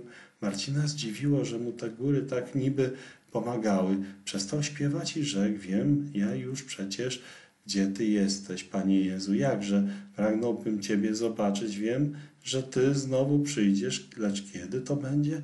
Będzie, odezwało się w górach echo i jeszcze raz powtórzyło, będzie. Uśmiechnął się Marcin i zawołał jeszcze raz, długo nie zwlekaj, a góry odpowiedziały, czekaj, czekaj, czekaj. Tego lata Marcin w niedzielę nie wyplatał koszy. Paść muszę i dla ludzi, i dla bydła, mawiał Józkowi. Ale gdybym kosze plótł, to ze swojej własnej woli i gniewałbym tym Pana Boga. Kiedy nie mogę iść do kościoła, święcę Dzień Święty w górach. Pewnie mnie Pan Jezus i tam słyszy. Gospodynie, widząc Marcina w niedzielę czysto ubranego, robiły mu przymówki. Po co bierze w góry świąteczne ubranie? Cioteczko, i w górach jest też niedziela, powiedział grabarzowej. Jest, lecz ciebie tam przecież nikt nie widzi. Bóg mnie tam widzi, cioteczko. Dla niego się stroję, nie dla ludzi. Odkąd wiem, że przykazał dzień ten święcić, nie mogę przed jego obliczem chodzić w zabrudzonym ubraniu. Uznała grabarzowa, że chłopiec dobrze mówi. Nieraz jej się te słowa przypominały, gdy w dzień świąteczny chciała założyć brudny fartuch. Natychmiast go odrzucała i brała czysty. W tym czasie na górnym końcu wsi umarła sędziwa młynarka. Marcin otrzymał po niej w spadku wełniany szal. Nie był już nowy, ale ładny, barwny w same kwiaty. Bardzo się chłopcom podobał. Marcin brał go ze sobą w góry i tam na skale. Rozpostarłszy kład nań testament, jak na ołtarzu. Sam zaś modlił się i śpiewał i czytał. Tak święcił niedzielę do południa w samotności, a po południu z Juśkiem. Gdy już nareszcie było po egzaminie, zaczęli chłopcy znów pędzić życie jak zeszłego roku. Ścinali rózgi, Marcin je plód, a Juśko, gdy nie chodził za bydłem, zbierał poziomki, maliny, borówki, grzyby i następnie je sprzedawał. Blisko dwa tygodnie nosił walizkę jakiemuś panu, który wykonywał pomiary w górach. Miał się Juśko przez ten czas dobrze jak pan, a na koniec otrzymał dwa nowe złote. Dołożywszy do tego jeszcze to, co mieli za grzyby i maliny, dali chłopcy pieniądze grabarzowej, gdy szła do miasta. Kupiła Juśkowi nowe ubranie i oddała mu buty do naprawy. Niełatwo opisać radość, jaką chłopcy z tego mieli. Wszyscy się razem z nimi cieszyli. Nawet Burek sumiennie obwąchał swojego przyjaciela, jakby musiało dopiero nawyknąć do tego, musiał dopiero nawyknąć do tej parady. Juśko był i bez tego ładnym chłopakiem. Raz w niedzielę otworzył się Marcinowi testament na samym końcu. Przeczytał nagłówek, rozdział 21, a pod nim widziałem nowe niebo i nową ziemię. Aż cały zapłonął z radości. Bez wątpienia znalazł to, czego od dawna szukał. Przecież ten człowiek, co go nauczył tekstu, tak Bóg umiłował świat, mówił, że o tej ziemi jest napisane w Nowym Testamencie na końcu. Tym razem Marcin nie przestał, dopóki nie przeczytał tego rozdziału i połowy następnego. Ależ było pięknie na tej nowej ziemi. Nie na próżno zawsze chłopiec myślał, że tam, gdzie Pan Bóg przebywa i dokąd ludzi zabiera, świat musi być piękniejszy. Czytał teraz, że na tej ziemi jest jedno wielkie miasto, zbudowane z samych drogich kamieni. Miasto to ma 12 bram, z których każda jest zrobiona z jednej wielkiej perły, a ulice są tam wyłożone złotem. Przez środek miasta płynie rzeka, wzdłuż tej rzeki rosną drzewa, które rodzą owoce 12 razy w roku. A w tym mieście nie ma świątyni, bo tam Pan Bóg chodzi po ulicach i rozmawia z ludźmi. Pan Jezus ma tam swój złoty tron i jest królem tych wszystkich, których do siebie bierze. Tam oni przebywają i służą Mu i oglądają Go, a Jezus z nimi będzie mieszkał, a oni z Nim na wieki. Oto rzecz wspaniała. Marcin spojrzał na niebo. Spoza Brzezowskiej góry wychodziły chmury, a słońce świeciło na nie złocąc się. Wyglądało to jak złota brama do tego pięknego miasta. Lecz znalazł Marcin i to w testamencie, że do miasta wejdą tylko ci, których imiona zapisane są w Księdze Żywota. Ogarnął go strach. Kto wie, czy jest tam moje imię? Rzucił się na kolana, prosząc, Panie Jezu, Ty powiedziałeś, że nam wszystko dasz, o co Cię prosić będziemy, więc ja Cię proszę, zajrzyj do tej Twojej księgi, czy mnie tam wpisałeś, a jeżeli nie, to bardzo Cię proszę, zapisz moje imię, Marcin, jak i mojego ojca nazywali. Ty to pewnie będziesz wiedział, żeby nie zaszła pomyłka. Gdy kiedyś aniołowie Twoi będą wołali, Marcinów jest dużo i tu w Raszowie, nie będę wiedział, kiedy się mam zgłosić, a ja chcę przyjść do Ciebie i służyć Ci tam wdzięcznie za to, żeś mnie umiłował i za mnie umarł. Amen. Amen, odpowiedziały góry uroczyście. I uwierzył Marcin, że imię jego jest już teraz zapisane, że i on wejdzie do miasta. Odtąd każdego dnia myślał o tym, jak się tam Pan Jezus przechadza nad wodą w cieniu kwitnących drzew, jak mu aniołowie grają i śpiewają, a z całego świata ludzie bramami wchodzą, aby mu służyć. Marcin się cieszył. Jak to też będzie, gdy tam ja kiedyś przyjdę? Czy on mnie od razu zobaczy i pozna? Ale ja go zaraz poznam, bo będzie ze wszystkich najpiękniejszy i będzie miał koronę. Nie bój się, pocieszył Marcin Juśka, który się przestraszył, gdy spostrzegli, że się im w kuchni ściana kruszy i pochyla. Przecież tu nie pozostaniemy długo. Pan Jezus poszedł, żeby nam miejsce przygotować w tym swoim pięknym mieście. Jeżeli mu miejsca nie starczy dla nas obu, to ja ciebie znowu wezmę do siebie i będziemy tam znowu razem mieszkać, jak tu na ziemi. Gdy się ściana rzeczywiście zawaliła, byli chłopcy właśnie w górach. Wróciwszy, nie mogli się nawet wcisnąć do izby. Ludzie się obawiali, że cała chata zawali się na chłopców i radzili im, aby nocowali raczej na dworze. Usłuchali oni i spali w szopie, a z nimi burek. Tego lata często padało i miał Marcin kłopot z bydłem. Raz, aby się stado nie przejadło mokrą trawą, to znowu, aby nie przyszło głodne do domu. Dodatku pasł on tego roku więcej owiec, a te się wciąż rozbiegały. Dobrze, że je Juśko tak szybko umiał policzyć, inaczej by nieraz któraś z nich została w górach. Pewnego wieczoru zatrzymali Juśka u leśniczego nieco dłużej. Posłali go z listem do wsi, musiał więc Marcin sam ze stadem wracać. Dwa, trzy razy liczył owce, czy są wszystkie po drodze, myślał o tym, jak niespokojne było bydło. Tyle się musiał nim zajmować, że czytać nie mógł prawie wcale. Przeczytał ledwo dwa wiersze i jednego nie zrozumiał. Przyszedł Syn Człowieczy, aby szukać i zbawić to, co zginęło. Czego to Pan Jezus przyszedł szukać? Ludzi? Jeżeli ludzi, to dlaczego ich szukał? Ach, żeby ktoś mi to wytłumaczył. Zamyślony przypędził stado do wsi, lecz jednej owieczki brakowało, była to owca młynarza. Ty taki i owaki, wymyślała młynarka Marcinkowi, krzycząc, co jej tylko ślina na język przyniosła. Tak mi się odwdzięcza za to, że ci chłopca chowałam. Kto wie, jakie wy tam sztuczki wyprawiacie. Łajała i przeklinała okropnie. Marcin stał przez chwilę jak wryty. Przykro mu się mu było, że gospodynię rozgniewał, a więcej jeszcze, że owieczka zginęła. Co biedna robi tam dziś sama?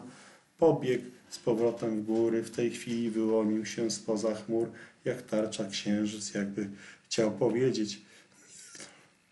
Nie bój się, Marcinku, ja ci pomogę. Ty szukaj, a ja ci będę świecił. Gorycz dodała chłopcu siły. Pędził bez opamiętania i nie zatrzymał się. Aż cały spocony przybiegł na pastwisko, tam upadł na ziemię, prawie bez tchu i leżał tak przez chwilę, aż mu serce przestało bić gwałtownie. Potem zaczął szukać i wołać. Na, mała, na, na, na. Wołał długo daremnie. Wszędzie było cicho. Wołał z żalem, wołał z płaczem. Nareszcie gdzieś z dali odpowiedziało mu żałosne me, me. Owieczko moja, owieczko, zawołał ucieszony i popędził przez ciernie i krzaki, przez doły, potoczki, kamienie, powalone drzewa i przez sterczące korzenie. Tu przewrócił się, tam się zahaczył, tu coś ukuło go w bose nogi, tam się zadrasnął, ale na nic nie zważał, tylko wołał i szukał, aż znalazł. Lecz gdzie? Właśnie zaświecił księżyc. Głęboko wśród skał i krzaków leżała owieczka, zaplątana wełną w ciernie i nie mogła się wydostać. Jeżeli jej stamtąd pastuszek nie wyniesie, nie wyjdzie sama, zginie. Marcin zastanowił się, a jakiś głos odezwał się w nim. Przyszedł Syn Człowieczy, żeby szukać i zbawić to, co zginęło. I wtedy zrozumiał słowo. Ta owieczka sama nie wydostałaby się z matni, tak jak i ludzie grzeszni nie mogli sami przyjść do nieba. Owieczkę zatrzymały ciernie, a ludzi zło, które czynili, oraz szatan i śmierć. Dlatego Pan Jezus przyszedłszy szukał i wołał, a która owieczka mu się odezwała, tę ratował. I mnie tak znalazł, i mnie tak wydźwignie, i mnie. Teraz zrozumiał Marcin ten fragment. Schodził w dół za owieczką, nagle kamień usunął się spod jego stopy. Ratunku w trwodze, by ciałem swoim nie zabić. Owieczki uczepił się rękoma kamienia, ale pod jego prawą ręką oberwał się on od podłoża. Jeżeli jeszcze pod lewą ręką się usunie, zabije mi niechybnie owieczkę, zdążył pomyśleć Marcin i puścił lewą ręką. Wtedy zahuczało mu w uszach, przed oczami zrobiło się czarno, a z dala odezwał się głos, jakby wielu dzwonów i wszystko ucichło. Jak długo to wszystko trwało, Marcin nie wiedział. Potem poczuł coś ciepłego na twarzy i usłyszał jakieś dziwne, żałosne skomlenie. Poznał. To burek wyje. Słyszał jeszcze jakiś drugi głos, ale nie mógł oczu otworzyć. Gdzie jestem? Nad nim stał burek, obok niego leżała w cierniach owieczka i żuła spokojnie. Na niebie gasły gwiazdy i już dzień zaczynał świtać, a tam w górze na skale klęczał Juśko i płakał. Przypomniał sobie Marcin, co zaszło wczoraj. Spadłem, pomyślał, i gdybym się zabił, byłoby tak jak z Panem Jezusem. On też szukał i znalazł, lecz umarł. Musiał umrzeć za swoje owce. Tak jak ja obudziłem się teraz, tak on trzeciego dnia zmartwychwstał. I od tego czasu może już owce swoje ratować i brać ze sobą w górę, jak ja teraz tę owieczkę. Gdyby nie Juśko, który w górze zawodził, byłby Marcinek na nowo usnął. Taki był słaby. W końcu się podniósł i z wielkim mozołem zaczął drapywać się z owieczką po skałach górę. Juśko odpowiedział mu, jak nie mogąc bez niego zasnąć, poszedł go z burkiem szukać. Obaj długo nie mogli się uspokoić. Z trudem Marcin doszedł do wsi. Od wczorajszego obiadu nic nie jadł. Wieczorem pędząc z, powrotem stado, wyczerpał siły, spocił się, a spadłszy leżał aż do rana na kamieniach. Lecz cały świat nie oddał, lecz za cały świat nie oddałby tej radości, że może gospodyni oddać owcę żywą i zdrową. Będzie i ona się cieszyć, ale ona zamiast mu podziękować okrotnie go zwymyślała. Inne gospodynie także szemrały gniewnie, że tak późno po bydło przyszedł i tylko pogróżkami go poczęstowały, żeby znów czegoś nie nabroił. Zmartwił się biedak jak nigdy dotąd. Mozolną mu była droga z gór do wsi, lecz stokroć boleśniejszą z powrotem w góry. Dowlókłszy się na pastwisko, oddał dozór nad statkiem, Juśkowi z burkiem, sam zaś upadł na skałę i leżał. O gdyby teraz gospodyni widziała jego twarz smutną i strapioną, żałowałaby, że mu wypomniała jego ojca i matkę i powiedziała, przybłęda jesteś, jeszcze nam tu będziesz szkodę wyrządzał. Na próżno Juśko próbował wszystkich sposobów, nie mógł niczym Marcina rozweselić, nawet do śpiewu nie czuł ochoty, gdy Juśko czytał, wtedy słuchał, lecz nie rozmawiał o tym, jak to zawsze czynił. Tak było i na drugi i trzeci dzień. W niedzielę pozwolił Juśkowi paść, a gdy czytali, otworzyła im się książka tam, gdzie zostało napisane, że ludzie chcieli ukamienować Pana Jezusa za to, że uzdrowił człowieka w sabat. Westchnął Marcin, Ciebie, Panie Jezu, nawet zabić chcieli za to, że uratowałeś człowieka od śmierci. Mnie tylko zwymyślały gospodynie, a nawet tego nie umiem przeboleć. Odpuszczę tej gospodyni, jak i ty odpuszczałeś. Zapłakał Marcin żałośnie, a gdy przestał, był już znowu taki sam, jak dawniej. Bydła jeszcze sumiennie pilnował, a dla Juśka był samą tylko dobrocią. Uprzejmiej ludzi pozdrawiał i uśmiechał się do nich jak przedtem. Tylko jedno było inaczej. Nie mógł już Marcin zrapać się na żadne drzewo. Z trudem tylko właził na skałę, a gdy szedł pod górę, musiał nieraz trzy razy odpoczywać. Nie jadł prawie wcale, miewał tylko wciąż duże pragnienie. Był tak blady, jakby nigdy na niego słońce nie świeciło, a oczy mu się jakoś dziwnie szkliły, jak dwie gwiazdy. Tego roku wcześniej przestano paść. Juśko pocieszał Marcina, jak umiał. Będziemy znowu do szkoły chodzili. Pan nauczyciel posadzi nas w jednej ławce, bo ty już teraz wszystkiego uczyć się możesz.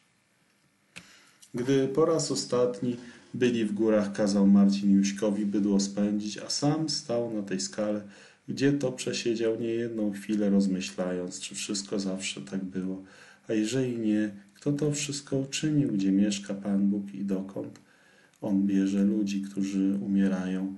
Dziś nie pytał się więcej, bo wiedział wszystko, nawet i to, że był niegdyś czas, gdy niczego nie było na ziemi, gdy nawet i tej ziemi nie było, a był tylko Bóg i że Bóg uczynił wszystko, co widzimy. On mieszka, niewidzialny w niebie, a ludziom dał ziemię.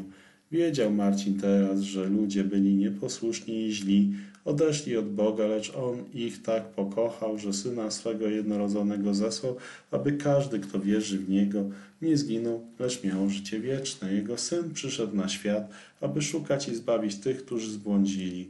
Umarł na krzyżu za swoje owce i tak je wyratował od piekła. Potem żywy powstał z grobu i wrócił do Ojca swego. Tam kazał zbudować miasto takie, jakiego na ziemi nikt nie widział, a gdy już dla każdego będzie przygotowane miejsce i gdy już wszystkie jego owieczki będą zapisane w Księdze Żywota, Wtedy przyjdzie i weźmie je do siebie, aby były tam, gdzie on jest, aby mu służyły na wieki. Wiedział Marcin, że prawdą było, co w pieśni jest napisane. Kto chce przyjść do niego, niechże mu też służy.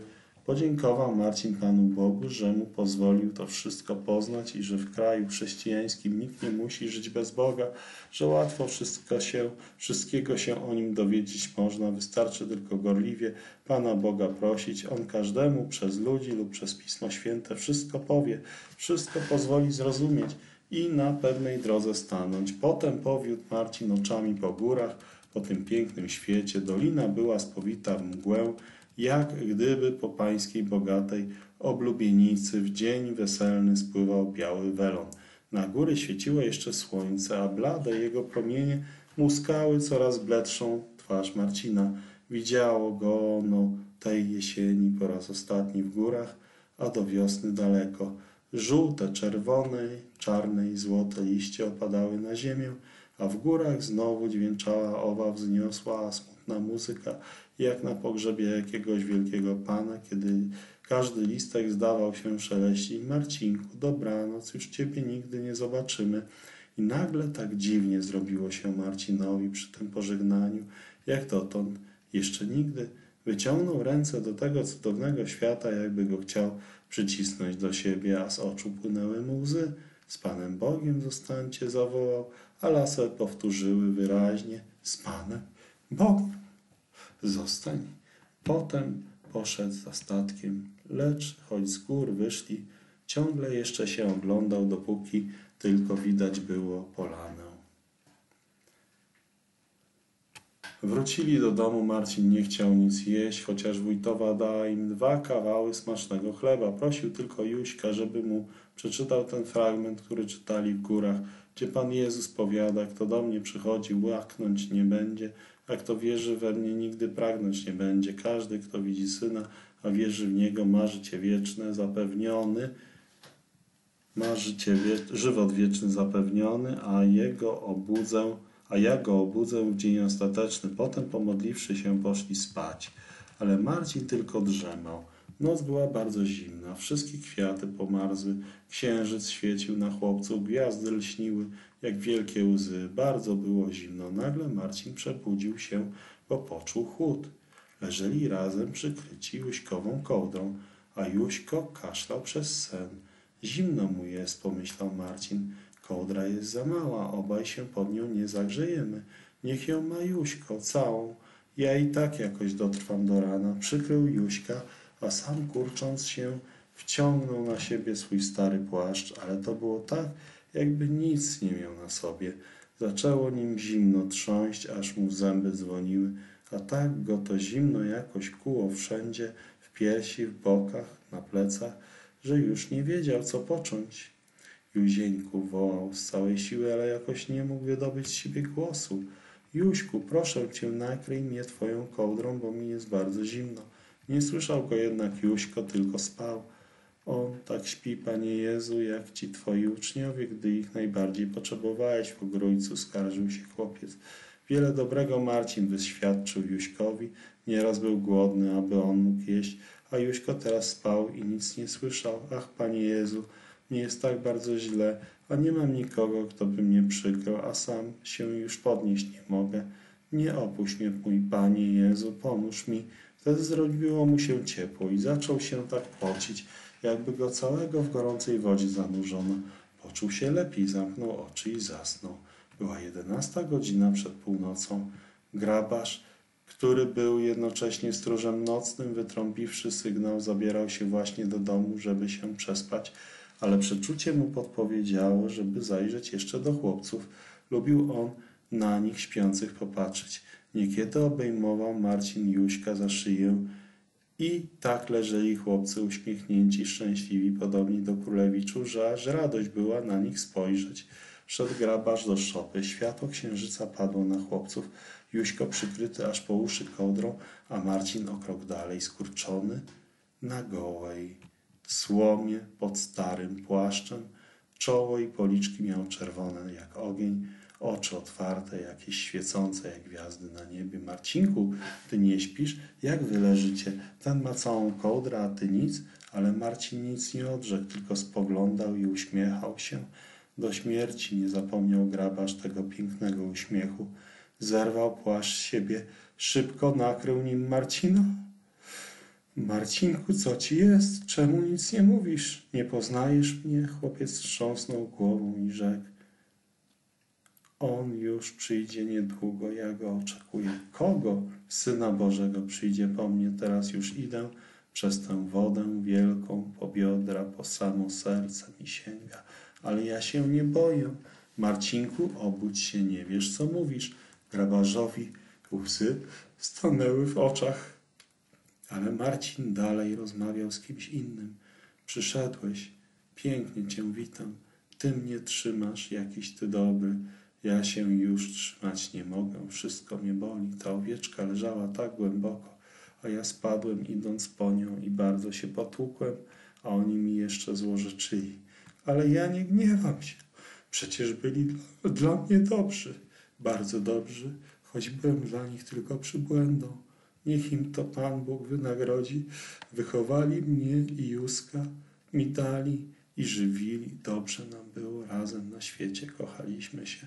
Ale teraz ja wolę pójść z Tobą. Wiem, stoisz przy mnie i tam Cię ujrzę, gdy te ciemności się rozstąpią. Prawda, Panie Jezu? Mój miły Panie Jezu. Uśmiechnął się Marcinek i zamknął oczy. Grabarz pobiegł po żonę i wzięli chłopców do siebie, do izby. Przyszły inne gospodynie, chociaż była noc. Pukał grabarz do ich okien, wołając: Jeżeli się boicie Boga, pójdźcie z Marcinem, coś się dzieje. Marcinek nikogo nie poznawał, ani Juśka, który przy nim płakał, jak wtedy w lesie na skale. Przemocą musiano Juśka oderwać, aby można było podejść do Marcinka. Próbowały niewiasty wszystkich sposobów. Gdy rano nie będzie z nim lepiej, odezwała się młynarka, poślemy po doktora. Ugotowano jakichś ziół. Wypiwszy je, Marcin odzyskał przytomność i spojrzał na gospodynię. Dziękuję wam bardzo za wszystko, mówił szybko. Ja żyłem bez Boga na świecie, a żadna z was nic mi nie powiedziała. A same tak żyjecie, mówił dalej ze smutkiem, jakby Boga nie było. I wierzycie w to, co jest nieprawdą, co nie jest prawdą. Gdy umrę, nie dawajcie mi pieniędzy na przewóz. Pan Jezus za darmo przeprowadzi. I nie bójcie się, że ja, że przyjdę was straszyć. O, ja już wolę nie przyjść nigdy, bo też to jest bardzo daleko. Mógłbym zabłądzić. W głuchym milczeniu słuchały niewiasty, bo chłopiec mówił tak, jak to było w Piśmie Świętym. Nie bój się, Marcinku, odezwał się grabarz, bo ty jeszcze nie umrzesz. Przyszło i przejdzie i będziesz jeszcze nasze stado pasał. A jakie piękne ubranie ci sprawiły, obiecywały kobiety. A Juśka ci damy na pomocnika i ubierzemy go także. A obu was żywić będziemy. Przez zimę możecie mieszkać u nas, powiedziała młynarka, a na wiosnę naprawimy wam chatę zbuduj, lub zbudujemy nową.